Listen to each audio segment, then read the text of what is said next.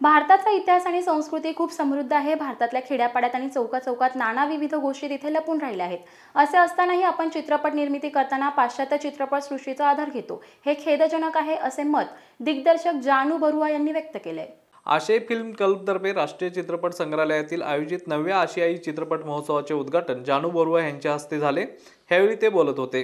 यावेळी व्यासपीठावर दिग्दर्शक गजेंद्र अहिरे राष्ट्रीय चित्रपट संग्रहालयाचे डेप्युटी डायरेक्टर कीर्ती तिवारी दिग्दर्शक मिलिंद लेले महोत्सवाचे संयोजक सतीश जकातकर आणि वीरेंद्र चित्राव आदी मान्यवर उपस्थित होते. यावेळी पंधरा वर्षात मराठीत पन्नास चित्रपट निर्माण करणारे दिग्दर्शक म्हणून परिचित असलेले गजेंद्र अहिरे यांचा विशेष सन्मान करण्यात आला. तर उद्घाटनानंतर खाजी मोज दिग्दर्शित झेर का तुर्की चित्रपट उद्घाटनाचा चित्रपट म्हणून दाखवण्यात आला. पंधरा आशियाई देशामधील चाळीसपेक्षा जास्त चित्रपटांचा आस्वाद ह्या महोत्सवाद्वारे रसिकांना घेता येणार आहे.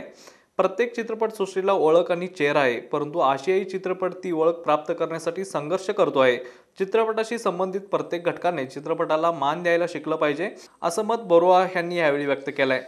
सिनेमे होत राहिले कसे होत राहिले काय होत राहिले याचा आत्ता मला अंदाज नाही.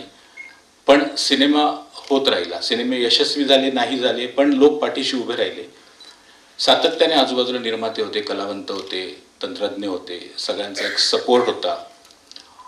आशय फिल्म क्लबसारखी संस्था होती पिफ होतं. अजून म्हणजे सिनेमा केल्यानंतर तो दाखवण्यासाठीचं व्यासपीठ तयार होतं आणि दुसरा सिनेमा डोक्यात आला तर तो करायला निर्माते मित्र तयार होते.